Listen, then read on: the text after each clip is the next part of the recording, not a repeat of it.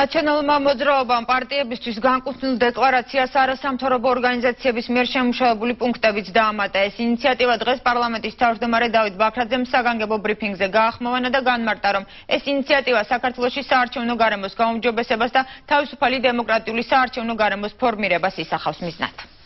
ერთიანი ნაციონალური მოძრაობა გამოვიდა ინიციატივით.